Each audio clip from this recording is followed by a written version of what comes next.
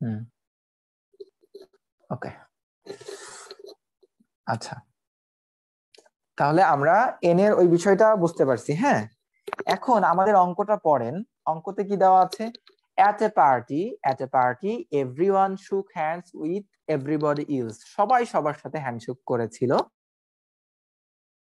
হ্যান্ডশেকস যদি সেখানে মোট টোটাল সিক্সটি সিক্স হ্যান্ডশেক হয় হ্যান্ডশেকের সংখ্যা যদি সিক্সটি সিক্স হয়, তাহলে how many people were at the party পার্টিতে কতগুলো পিপল কত কতজন লোক ছিল?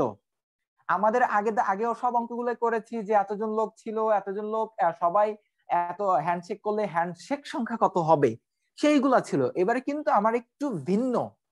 হ্যাঁ আমার টোটাল ভ্যালুটাই আমি জানি না। তার মানে আমি কিন্তু এই জিনিসটা এইভাবে লিখতে পারি যে n factorial divided by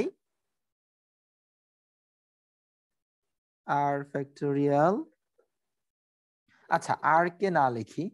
আচ্ছা তার আগে একটু একটা জিনিস আমি একটু বলি, জিজ্ঞাসা করি যে এখানে আর এর ভ্যালু কত?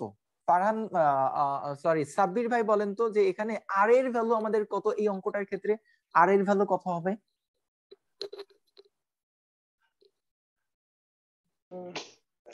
আর এর ভ্যালু হ্যাঁ। জি। Everyone everyone shook hands with everybody else হ্যাঁ সবাই সবার সাথে জি আর এর ভ্যালু 2 হবে কারণ একটা হ্যান্ডশেক করতে দুইটা হ্যান্ড লাগে সো আর এর ভ্যালু হচ্ছে টু আর এর ভ্যালু টু আমরা হ্যান্ডশেকের দুই একটা অঙ্ক আগে করেছি আপনি মিস করেছেন হয়তো। তারপর আপনি আনসারটা পেরেছেন। সো আর ভ্যালু হচ্ছে 2 হবে। এখন আমরা এইভাবে লিখতে পারি, দেখেন। n factorial divided by r আচ্ছা আর factorial into n minus r factorial equal to 66 বলেন তো, এই অঙ্কের ক্ষেত্রে আমার কার ভ্যালুটা বের করতে হবে? শ্রাবণ ভাই, এই অঙ্কের ক্ষেত্রে আমার আনসারটা কোনটার ভ্যালু বের করলে আমি পাবো?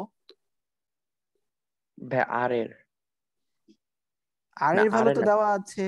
এন এর ভ্যালু এন এর ভ্যালু কতজন মানুষ এন এর ভ্যালু হ্যাঁ এন এর value so 2 factorial n minus two factorial হ্যাঁ টু কেন দিয়েছে এটা তো বুঝতে পারতেছেন। আমরা হ্যান্ডশেকের অঙ্ক তখন দেখলাম যে টু আর হ্যাঁ? আচ্ছা।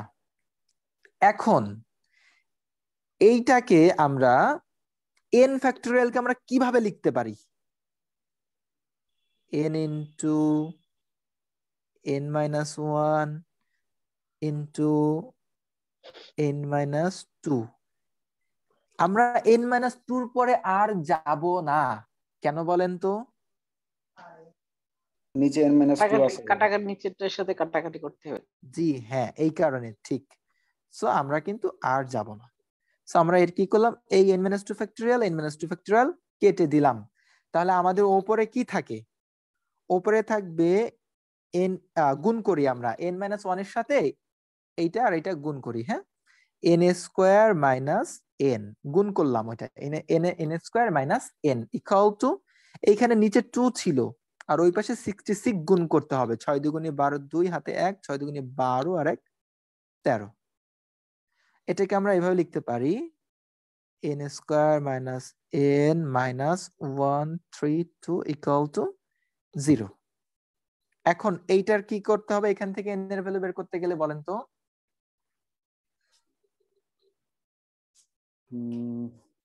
এটা একটা সূত্রে নিতে হবে মনে হয় ফর্মুলায় n স্কয়ার মাইনাস করতে হবে।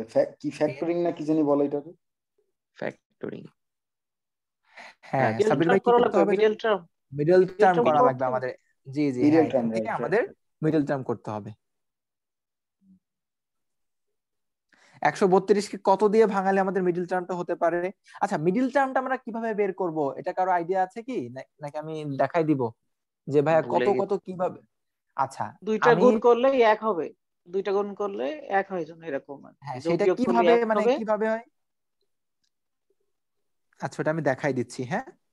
এখানে আমরা নিতে পারি twelve n plus eleven n minus one three two আচ্ছা আমি মিডিল টার্মটা দেখাই দিচ্ছি হ্যাঁ? আগে এটা বারো আর এগারো গুণ করলে কত হয়?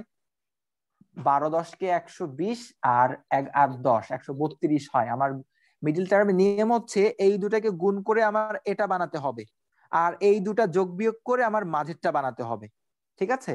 সো বারো এন এর থেকে যদি মাইনাস বারো এন থেকে প্লাস এগারো এন করলে মাইনাস এন থাকে, একটা এন থাকে। এখন আমি মিডিল টার্মটা কীভাবে বারো আর কীভাবে এগারো পাবো সেটা আমি দেখাচ্ছি, আমি এটা ক্যালকুলেশনটা করে নিয়ে হ্যাঁ? এন ইন্টু এন কমন নিলে এন মাইনাস বারো প্লাস এগারো কমন নিলে এন মাইনাস বারো ইকুয়াল টু জিরো সো এখান থেকে আমরা লিখতে পারি এন মাইনাস বারো এন প্লাস এগারো ইকুয়াল টু জিরো তাহলে এন এর ভ্যালু একটা পাবো হচ্ছে বারো আর এন এর ভ্যালু একটা পাবো মাইনাস এগারো. সো মাইনাস এগারো আমরা নিব না মাইনাস এগারো আমরা নিব না। তাহলে আমাদের আনসার হচ্ছে বারো। বারো জন লোক হ্যান্ডশেক করলে টোটাল হ্যান্ডশেকের সংখ্যা সিক্সটি সিক্স হবে। আর আমরা একটা অঙ্ক দেখছিলাম, নয় জন লোক হ্যান্ডশেক করলে হ্যান্ডশেক সংখ্যা পঁয়তাল্লিশ হয়। তার আগের দিন একটা অঙ্ক দেখছিলাম, সেখানে ছিল হচ্ছে আপনার এগারো জন লোক হ্যান্ডশেক করেছিল হ্যান্ডশেকের সংখ্যা এগারো হয়েছিল। ওই যে আমি ম্যানুয়ালি দেখাইছিলাম। আচ্ছা এখন মিডিল টার্ম কীভাবে আমরা করব? কীভাবে এই যে এগারো আর বারো পেলাম? এটা এইভাবে ভাঙাতে হয়। একশো বত্রিশকে আগে ভাঙাতে হয়, ছোট ছোট করে এরকম। দুই দিয়ে ভাঙা দুই ছয় দুগুনি বারো ছয় দুগুনি বারো। তারপরে দুই থার্টি থ্রি তেত্রিশ। এবার তো দুই দিয়ে যায় না তিন দিয়ে যায়। তিন এগারো তেত্রিশ। এবার এখান থেকে দেখতে হয় তিন দুগুনি ছয় ছয় দুগুনি বারো। এই যে বারো আর এগারো কিন্তু আমরা এখান থেকে পেয়েছি। আমাদের দেখতে আমাদের কত লাগবে ঠিক আছে? সেইভাবে আমাদের এখান থেকে নিতে হয়। বুঝতে মনে পড়ছে মিডিল টার্মের বিষয়গুলো কীভাবে বের করব? হ্যাঁ বুঝছি জি। হ্যাঁ তাহলে আমাদের আনসার হচ্ছে কত? এন এর ভ্যালু কত আসছিল জানো আমাদের? টুয়েলভ আসছিল টুয়েলভ আসছে তাই না? কিন্তু এখানে টুয়েলভ কোথায়? আচ্ছা যাই হোক। এখানে যে কোনো একটা কোন মিস্টেক আছে এখানে এটা আমার টাইপিং মিস্টেক হবে ঠিক আছে? এখানে মেবি এইটা হতে পারে হয়তো। এই মানে এখানে বারো এটাকে বারো ধরেন আর কি। বারো অপশনগুলা টোয়েন্টি টু বারো থার্টি টু টোয়েন্টি এরকম। এটা আমার একটু প্রিন্টিং মিস্টেক হয়ে গেছে। আমাদের টাইপিং আর কি। আনসার হবে বারো ঠিক আছে? বারো জন লোক হ্যান্ডশেক করলে হ্যান্ডশেক সংখ্যা সিক্সটি সিক্স হবে। আমরা এগারো জনের ক্ষেত্রে দেখছিলাম ফিফটি ফাইভ হয়েছিল নয় জনের ক্ষেত্রে আজকে দেখলাম ফোর্টি ফাইভ হয়েছিল সো বারো জনের ক্ষেত্রে সিক্সটি সিক্স এমনি মুখস্থ হয়ে গেছে। আচ্ছা যাই হোক সো আজকের কম্বিনেশন ক্লাসটা তাহলে আমরা এই পর্যন্তই শেষ করলাম। পারমুটেশন কম্বিনেশন আপনারা যারা যারা একটু ক্লাস মিস করতেছেন আমার রেকর্ডিংগুলো একটু দেখে নিয়েন তারপরেও দেখার পরেও যদি কোনো অঙ্ক বুঝতে না পারেন যে ভাইয়া এটা বুঝতে পারেনি আমাকে আবার শেষে মেনশন করেন আমি শেষে ইনশাল্লাহ সলভ ক্লাসে করাই দিব। আর নেক্সট ক্লাসে হচ্ছে আমরা মিক্সচারের অঙ্ক করব। খুবই গুরুত্বপূর্ণ অঙ্ক এবং খুবই মজার ইন্টারেস্টিং চ্যাপ্টার মানে ওটাও খুবই অঙ্কগুলো দেখে অনেক কঠিন মনে হয় কিন্তু আমরা ইন্টারেস্টিংলি ইনশাল্লাহ করে ফেলব। ঠিক আছে? কারও কোনো কোশ্চেন মিক্সচার তাহলে আমরা ভাইয়া নেক্সট